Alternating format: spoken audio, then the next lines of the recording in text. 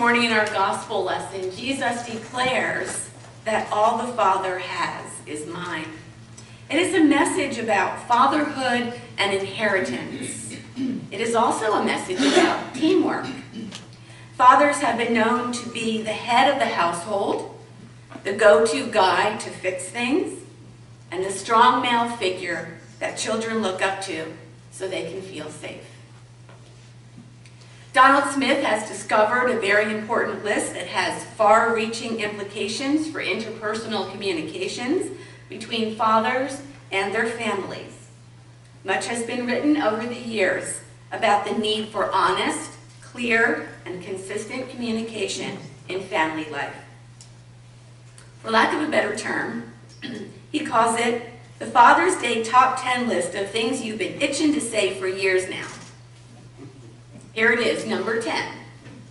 Whenever possible, please say whatever you have to say during commercials. number 9. Shopping is not a sport, and no, we are never going to think of it that way. number 8. Sunday equals sports. It's like the full moon or the changing of the tides. Let it be. Number 7. Yes and no are perfectly acceptable answers to almost every question. Number six, check your oil. Please check your oil. Number five, this one really gets me. Anything we said six months ago is inadmissible in an argument.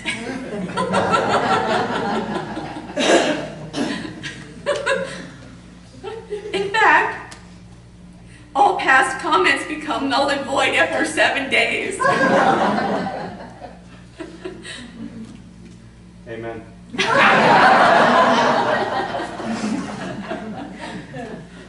Number four. I like this one too. If something we said can be interpreted two ways, and one of the ways makes you sad or angry, we meant the other one. Number three, if we ask what is wrong and you say nothing, we will act like nothing's wrong.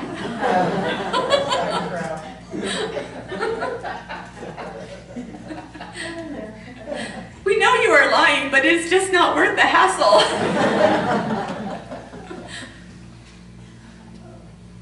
number two. My eyes are so watering, I don't know if I can read number two. Want me to read number two? That's okay, JJ, thank you.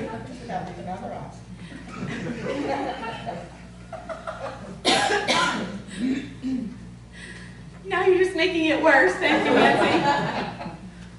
All men see in only 16 colors. Peach, for example, is a fruit, not a color. Pumpkin is also a fruit. We have no idea what mauve is. The number one thing that we have been itching to say.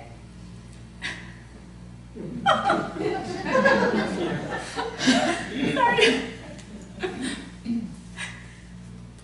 Christopher Columbus did not need directions, and neither do we.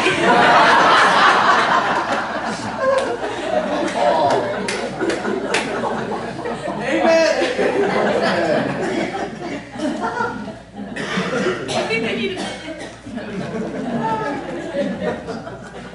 I thought you'd enjoy these, but I didn't know how much. It all sounds true. Okay. So Focus on the Family's Pastor's Weekly Update reported on a national survey of fathers, which had some interesting results, and I thought this was really important to share with you on Father's Day. Among the findings were 94% feel, build, feel building a family is the hardest and most important thing a man can do. I thought those were wonderful statistics. 71% say fatherhood is more demanding than they expected, while 88% say fatherhood is more rewarding. 87% say the rewards of fatherhood surpass those of career, and 89% approve of men leaving fast-track careers to spend more time with family. 90% say becoming a father made them want to be a better person and role model for their kids, while 75% feel a weight of responsibility now that they didn't before. Paul Harvey, in a column entitled What Are Fathers Made Of, has noticed the following about fathers, quote, A father is a thing that is forced to endure childbirth without an anesthetic. A father is a thing that growls when it feels good and laughs very loud when it's scared half to death. A father never feels entirely worthy of the worship in a child's eyes. He's never quite the hero his daughter thinks, never quite the man his son believes him to be, and this worries him sometimes. So he works too hard to try and smooth the rough places in the road for those of his own who will follow him. A father is a thing that gets very angry when the first school grades aren't so good as he thinks they should be. He scolds his son, though he knows it's the teacher's fault. Fathers are what give daughters away to other men who aren't nearly good enough so they can have grandchildren who are smarter than anybody's. Fathers make bets with insurance companies about who will live the longest. Though they know the odds, they keep right on betting, and one day they lose. I don't know where fathers go when they die, but I've an idea that after a good rest, wherever it is, he won't be happy unless there's work to do. He won't just sit in a cloud and wait for the girl he's loved and the children she bore. He'll be busy there too, repairing the stairs, oiling the gates, improving the streets, and smoothing the way. Give me a moment, please.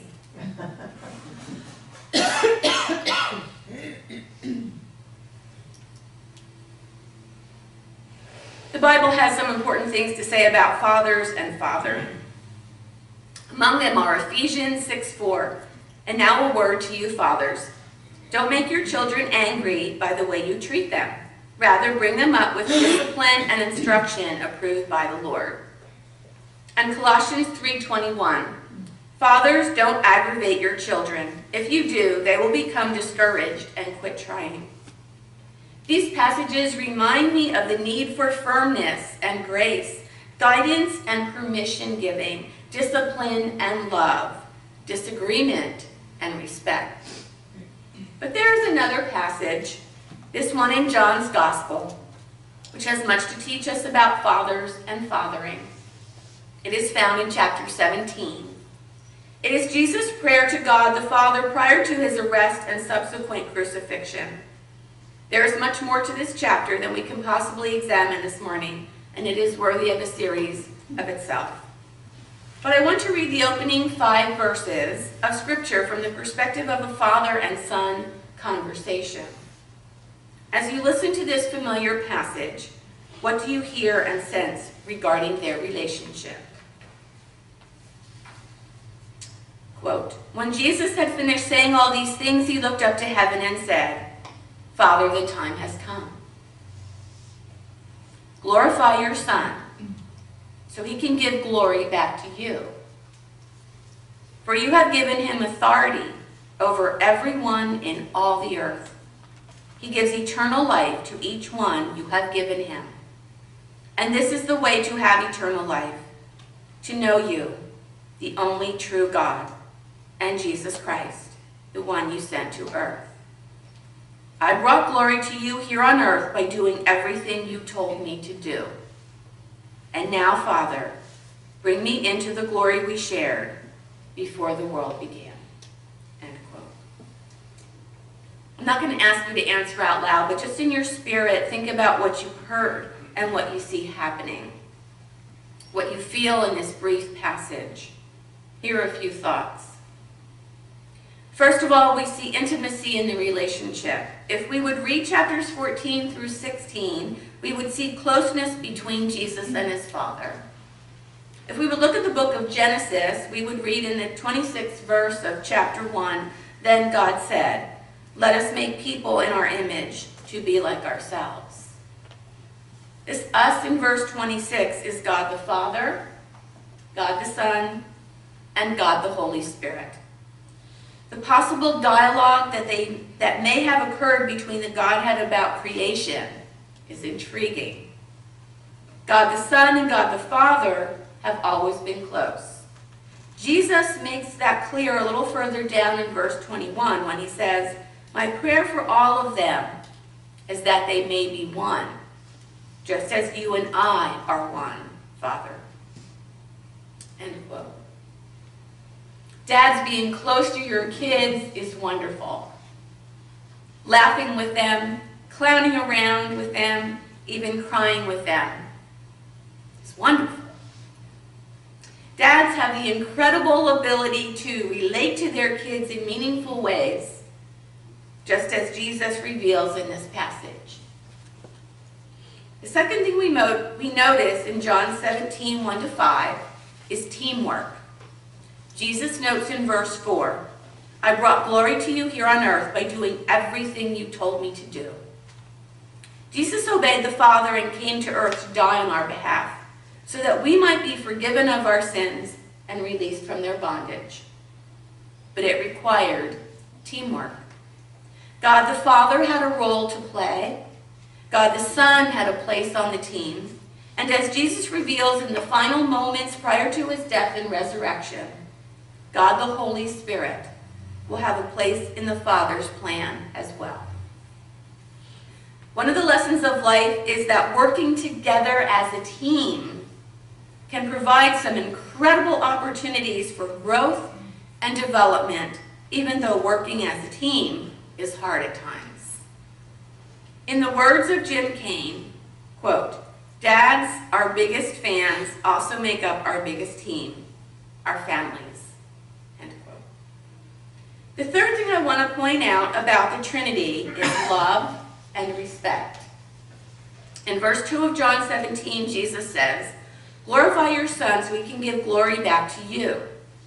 To glorify someone is to hold them in high regard, to see them as larger than life.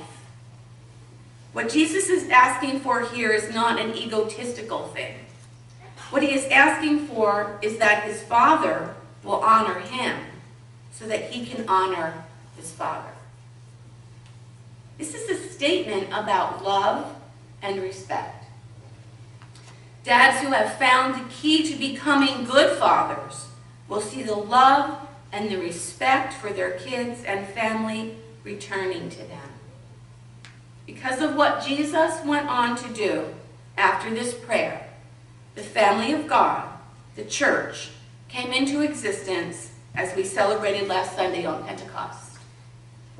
And in the later books of the New Testament, these books that follow this pericope of Scripture, we see and hear the importance that closeness, teamwork, love, and respect play in the life of the church. One of the ways that we do this is by sharing our stories in ways that strengthen our faith. And this morning I've asked Glenn and Shirley to share some of the lessons they have learned from their fathers.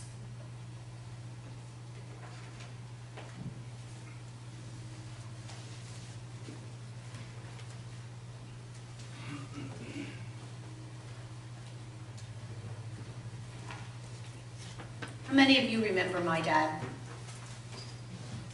Fair number, okay. Um, you may learn a little bit something different about him today. Um, Daddy was a quiet man who led by example. Whether he was at home or at work, he gave everything he did his all. He never shied away from hard work. In fact, he seemed to embrace it.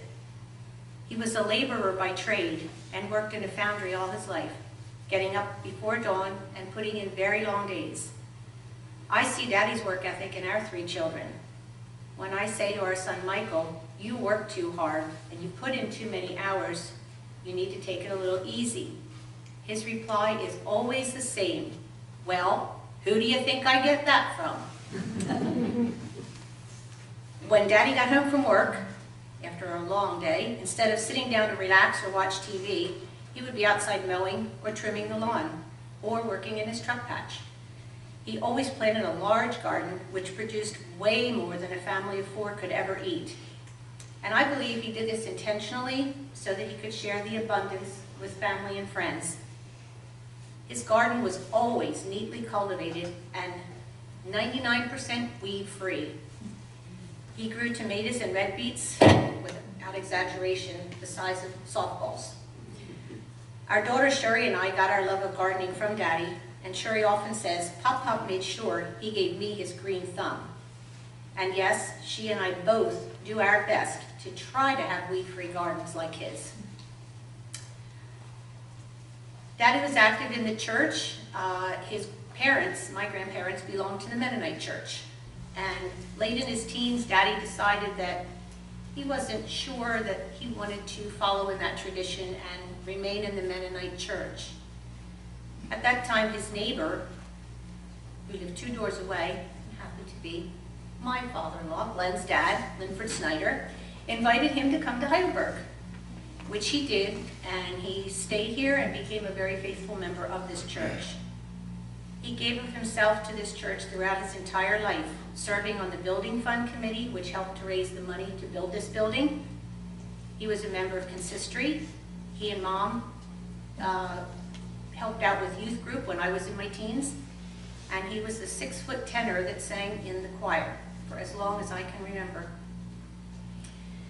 Daddy always made time for his family, even when he was exhausted from working all day. He would spend time in the evenings with my sister and me. I personally was happiest when I could wiggle my way out of helping mom with the supper dishes and go outside and help daddy and do whatever he was doing, be it gardening, picking apples, picking pears, cleaning out the in-ground fish pond, whatever. As long as I was out there with him, I was happy. We enjoyed board games, card games, and marbles. And many a night, Daddy would doze off right in the middle of the game. And when his grandchildren came to visit, he spent time playing with them. Even though he was exhausted from his day's work, it never kept him from sharing his time with him. Our children have fond memories of Pop Pop, pushing them on the big swing he made in the backyard, taking them for a bicycle ride, or giving them a ride on the John Deere tractor. Karen remembers a special bicycle ride with Pop Pop. Daddy rode my old bike, and it had a wire basket on the front handlebars. A lot of you remember them. And he put Karen in the wire basket, sat her in the wire basket on the front handlebars, and took her down the road to pick mint tea. And then there were the games of lawn darts and parcheesi. Daddy was a master parcheesi player. It was an ongoing challenge for our children to try to beat Pop Pop at his favorite game, but they were seldom successful at that. Daddy remained the champ. He was a man who helped others and put the needs of others before his own, from sharing produce from his garden, to bringing my grandfather home from work every day, to helping family members who were struggling. He made a difference in people's lives. I'm so fortunate that I had an awesome dad, and I also have a wonderful mother who stood by his side. Together, they made my sister and I who we are today. I'm so very blessed to have parents who gave me a happy home, lots of love, and so many wonderful memories to treasure.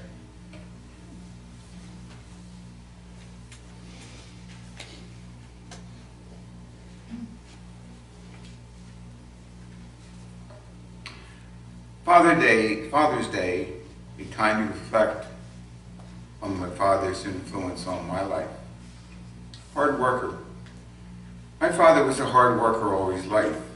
I believe that ethic passed on from his, came from his mother. My grandmother lost her husband at a young age and raised five children on her own. My father was the youngest of five. During the Depression years, everyone had to pitch in and help the family in any way possible. In the summers, my dad, as a youth, worked at the Hatfield Fairgrounds, which was right in their backyard, and cleaned stables and walked racehorses after they finished the race. Dad started working at an early age. One of Dad's first jobs was working as a teller at the Hatfield National Bank. Through this position, he was a recipient of a scholarship to Peirce Business School in Philadelphia. This was a one-year attending, this one year attending Peirce, in his words, set him up for life. Throughout his lifetime, he owned a gas station in Souderton, bought a chicken farm and raised thousands of chickens, and became an insurance agent. In his seven years as a nationwide agent, Dad didn't know the meaning of eight to five. He was available to his insurers 24/7 and assisted them whenever the hour of the day or night or what week. Thank for his blessing, thankful for blessings. Dad was not ashamed to express his thanks for his blessings he received. He would express his thanks for good health, which he enjoyed throughout his lifetime. He was also thankful to Peirce College and continued to be an alumni who supported this college in appreciation for all the school had given to him. He started a scholarship fund at Peirce, which is still helping college students today. He appreciated all the Lord provided to him. Christianity. Heidelberg Church was an important part of Grandmom's life and was passed down to Dad. Dad followed in her footsteps and became an active member and lifelong member of this church. He served in consistory, sang bass in the choir, became the church historian, and was church choir director for many years. Back in the 30s, he and Mother joined a group of young people from Heidelberg Church and Hatfield High School and formed an octet that sang in churches throughout eastern Pennsylvania. Dad also played the clarinet, which we didn't very often hear him play, but he played that in the Hatfield High School band. His, his and Mother's love for music rubbed off on me. Dad always looked for ways to help. He was instrumental in the purchase of this property, the new church of the new property and home of Heidelberg Church. Being an active member of the church was important to Dad. He passed on this love of being able to do things for Heidelberg Church t- to me. The apple really didn't fall far from the tree. Good parents set a high standards for the children to follow. My dad's love for church, music, family, and helping others to set good examples for my sisters, brother, and me.